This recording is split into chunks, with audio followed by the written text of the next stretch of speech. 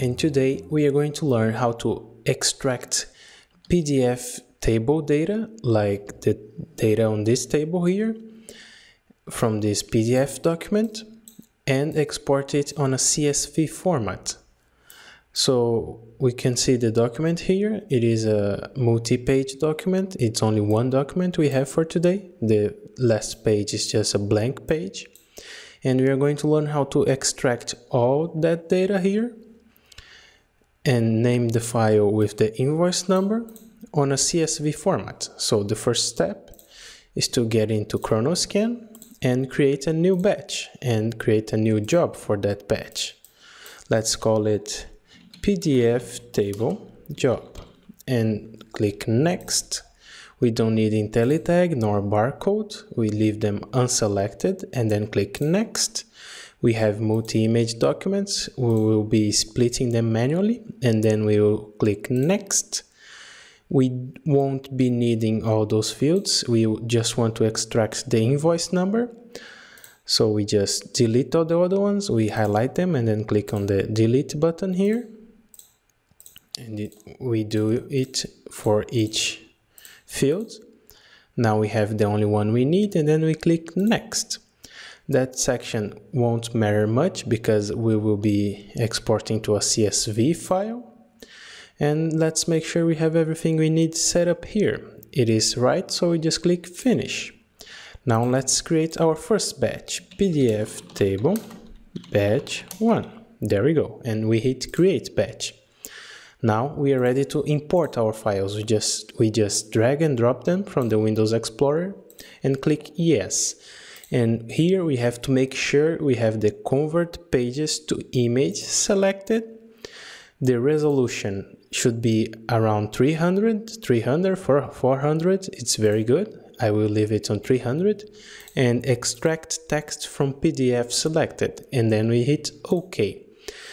For this kind of work, what you will want to do is to import the first file, make sure everything's all right, and then import the rest of the files. I can't show that today because I only have one file but you should insert first, import first one or two files, and then after you have everything set up, import all the other files and then process them.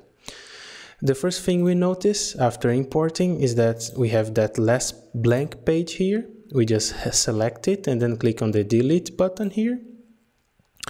And let's take a look at our files. Let's start extracting data.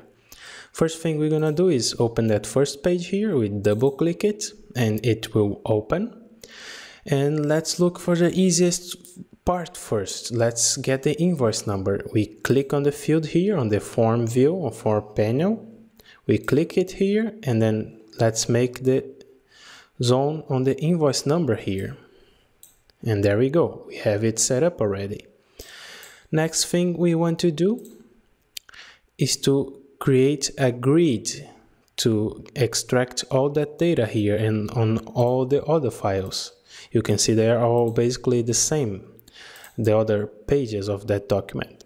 What we have to do to get the grid is click on the data panels here, that button up here with the mailbox icon. You click it and we only need one grid. So just leave the first one selected we highlight it and then click options. And here you have all the options for that grid and that grid is what we are going to use to extract the data here. So we click options and we have to match up our data capture fields to the fields on the table here. So we are going to use the delete all button down here hit yes. And now we are ready to extract our data. We click on the plus button to add a field and to name it, we go to the name field here, erase what is in front of it and use the same name or a very sim similar name to what you have on the original table here. It is line number, uh, everything else is okay the way it is, you don't need to set it up further. And only a little bit complicated thing you have here is that description. So let's call it description line here. You know, you have two lines here and probably you will want to separate the two lines here. And in order to do that, first, when we create the description field, we have to make sure we have the name correctly, and we have to make sure we have the remove carriage return to no, because when it's, it is set to yes, the program will read all that text here as just one line of text. We don't want that. So we just click no, we don't want to remove carriage return. And we have to set up a custom field here. So we just click plus here and let's call it description second line. And what we have to do is on the type, you have to change it on the drop down menu that shows up when you click it. You have to change it to custom. And on here on the function you have to click on the drop down, but drop down button and then you want to cut the last line of a column. And that's the parameter you have to insert. And on parameters you will get another drop down and you can just select any other any one of the fields you already have so let's just select description so that will cut the last line only the last line of the description field. Now we are ready to keep going. We don't have uh, another case like that, so let's just keep adding fields until we get all of them in. Item ID, it's created, you don't have to press enter, just create a new one. We have quantity, we have unit list, we have unit net. And the last one is code. After you have done that you just click ok and then close and you have here on the grid control on the modules panel you can see you have all the columns set up here for you. Now what you get to do you have to create the grid here.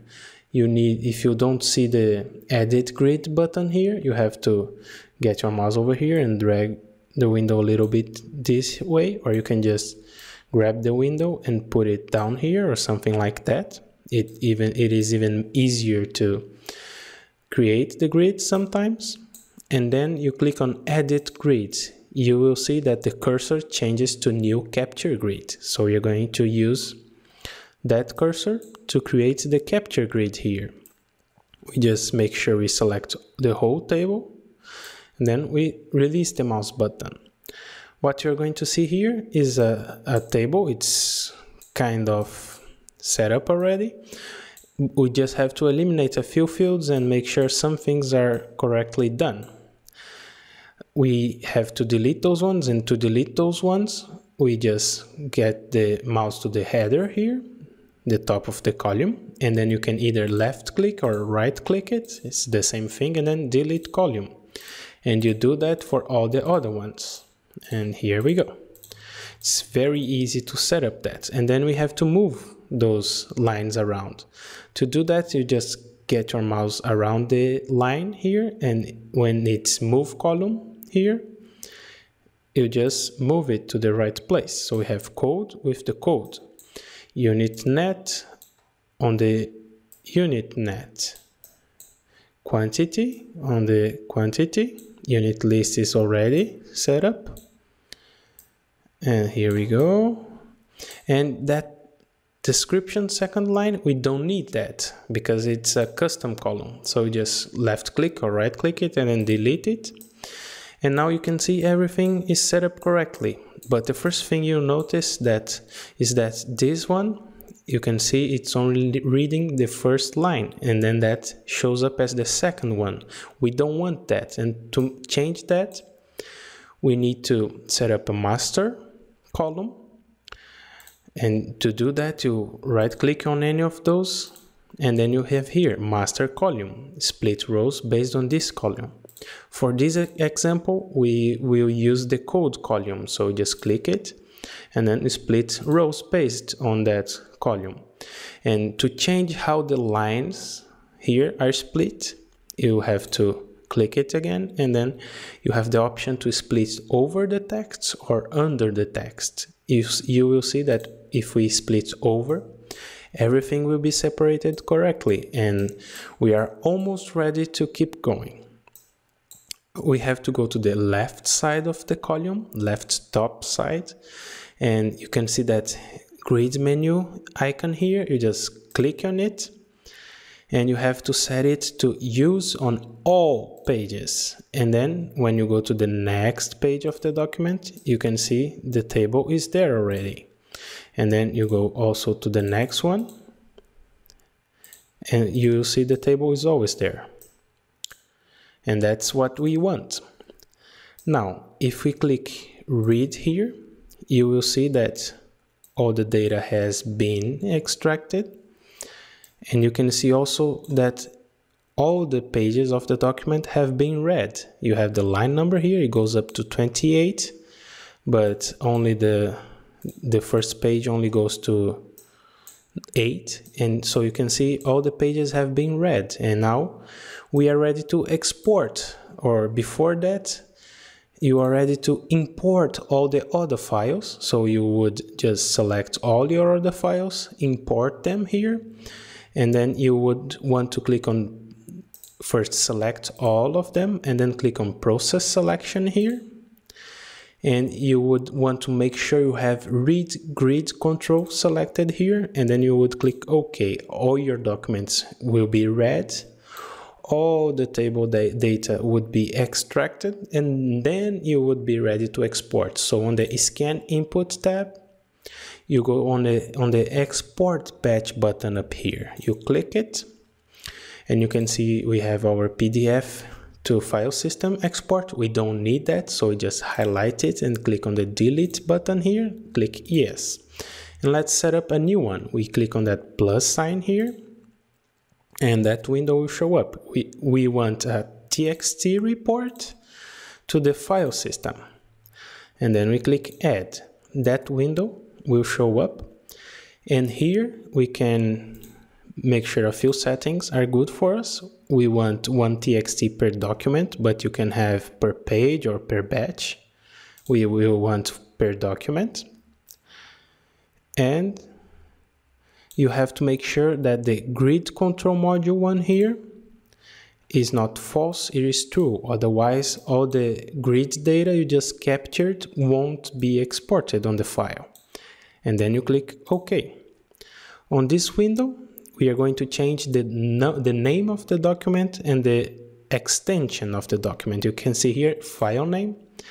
What you're going to do is click on that plus that, that three dots button here and delete all the all the variables here on the variable window. What we want is the invoice number and we can see here the doc field invoice number is here.